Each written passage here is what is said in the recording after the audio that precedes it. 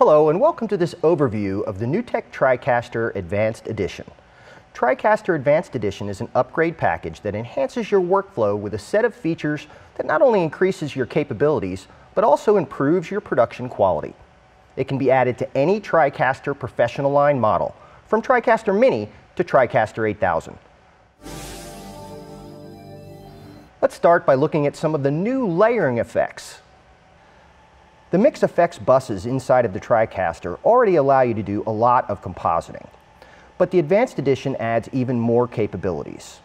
Let's go ahead and take a look at an example. Using one of the keyers inside of an ME, we're going to go ahead and add a bug. Now if we zoom in and out on this ME, it's locked to the frame exactly like we would expect it to be. But the Advanced Edition gives us more capabilities, including augmented reality.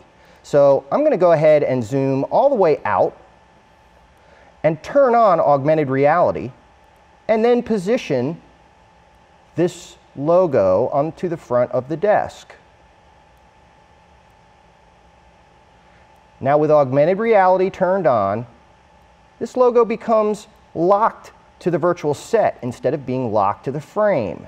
And now you can see as we're zooming in and out that we're locked right to the desk. I can even go in here and we can zoom in and pan around and you can see that that overlay now has become part of the virtual set. So now adding a logo or some branding to any part of a virtual set and locking it down is possible using the Advanced Edition.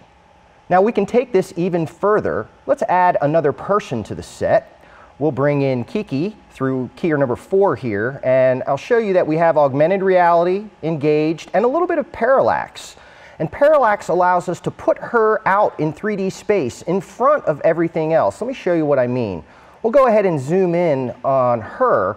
And as we zoom in on her, she's moving at a slightly different rate as the rest of the background. You can see as I start to pan her around that she's moving at a different rate than the background. And it really looks like she's in the foreground in 3D space. So by using this sort of a setup, we can now zoom past her, to the talent behind the desk.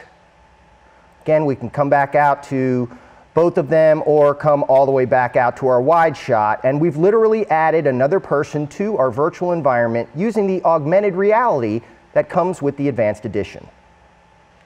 Another addition to the keyers are soft edges, full color borders, and drop shadows. Let's take a look.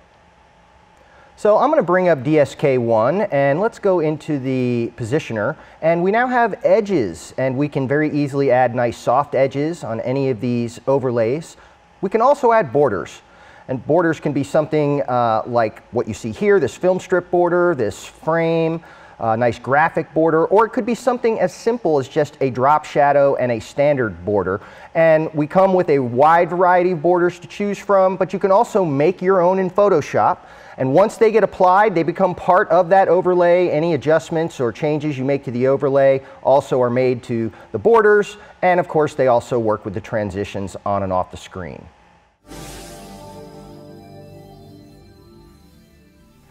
There are also new enhancements that let you perform editing functions in the media players. Now, we've always had autoplay, and autoplay is great. It automatically queues up and pre-rolls all of your clips for you simply put your clips into a media player, transition to it, and they play back. Now, these are playing back with cuts in between each one of the clips, which is how the standard edition of the TriCaster works.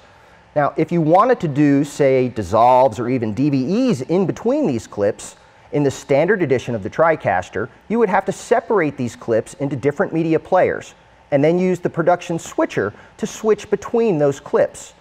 But the advanced edition allows you to add those transitions right inside of the media player itself. Now we'll transition to that media player and we'll see those clips playing back with fades in between them. And that's all happening directly from the media player itself. It's not using the main production switcher at all to be able to accommodate this. Now this automatically put fades in between all the clips for me, but you also can use any of the effects in the TriCaster. You can click on any of those, pick whatever effect you want to use, and you're now ready to roll that again with the new effect in place. It's really giving you some pretty major editing capabilities right inside of the media player in the advanced edition of TriCaster. I'm going to go ahead and clear out the media that I currently have in here and let's load up a new clip to work with. Now, let's go ahead and take a look at this clip. I'll just autoplay to it. Got a guy on a flyboard and he's zooming around, looks really cool. What I want to do is I want to use some of my new context menu features here to create a nice little edit out of this. So first of all, I'm going to fly the guy on the board here till he's about to come out of the water. So I'm going to get his head just popping just about right there. He's coming up out of the water. And what I can do now is I can split this clip right where I have the scrubber. So now I have two clips split right where I was on the first clip. This clip is going to play at 100% speed, but now, again, with a right context menu, I can do individual speeds on each clip. So I'll say I want this clip to play at 50% speed. Now, let's go ahead and take a look at what this looks like. So he dives in at full speed, and when he comes out, he's at slow motion, looks great. The slow motion quality has also been enhanced in the advanced edition, and now with these new editing capabilities right inside the media players, you have a whole lot more power. These new features in the media players literally turn them into little nonlinear editors, allowing you to edit pieces together inside of the live production environment instead of having to exit out to use a nonlinear editor.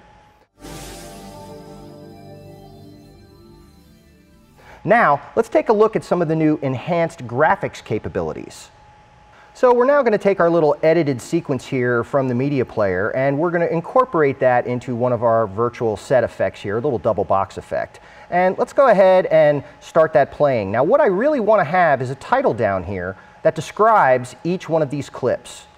Now if you right click on any clip inside of a media player, go to properties, you'll see that there's some information. There's a display name and comment.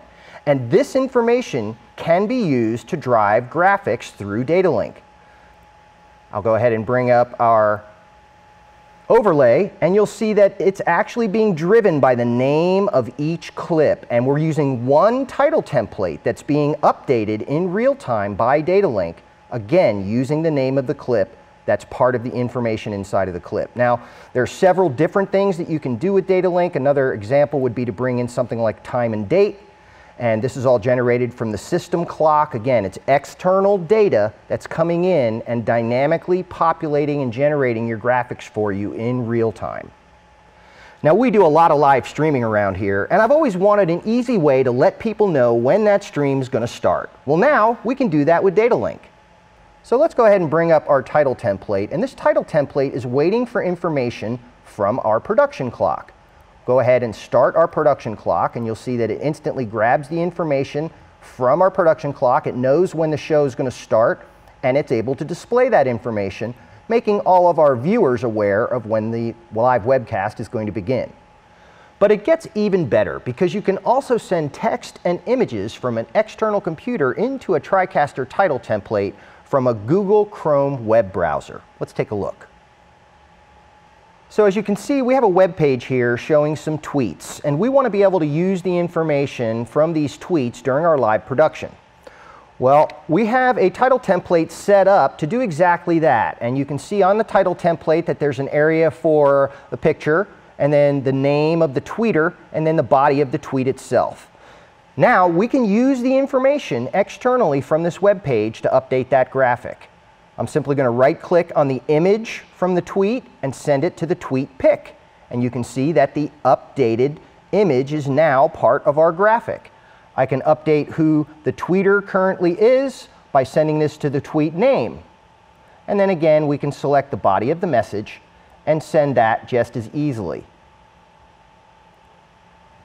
Now let's go ahead and take a look at what this might look like over an actual live video feed. And you can see incorporating your tweets or really any sort of text or imagery from uh, a Chrome browser is now just a mouse click away using the new Advanced Edition.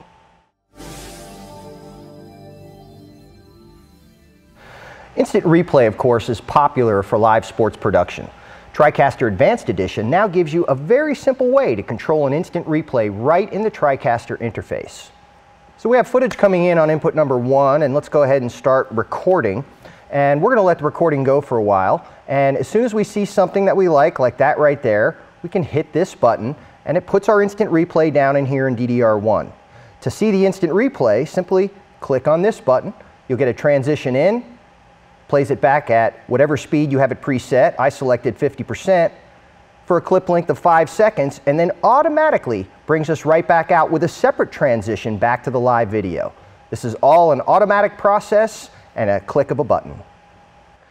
A simplified streaming panel now lets you stream to multiple destinations from a single TriCaster system.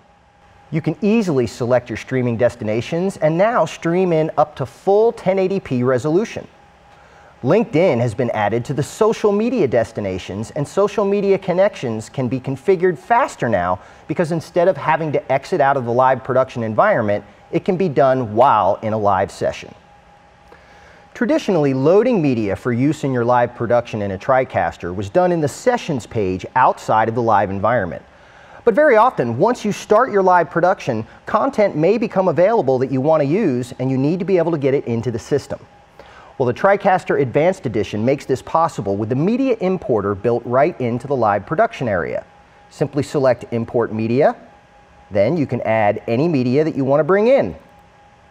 You can start importing that media and close it down and all of your media is imported in the background, allowing you to continue with your live production. Now, one of my favorite new features in the Advanced Edition is the ability for me to automatically fix my mistakes. What I mean by that is, you may be in the middle of a live production at some point and make a mistake on the switcher and inadvertently push buttons while you're reaching for your cup of coffee or any number of things can happen. TriCaster Advanced Edition has an undo, allowing me to fix my mistake and continue with my live production. The Advanced Edition of the TriCaster actually makes your TriCaster smarter with features like SDI Auto Detect, and this will automatically detect the resolution of an SDI signal, making it plug and play. And there are even more fully configurable outputs available, giving you more flexibility during your live production. These are just a few of the many features included with the TriCaster Advanced Edition. For more information, please check out our website at newtek.com or talk to your local reseller.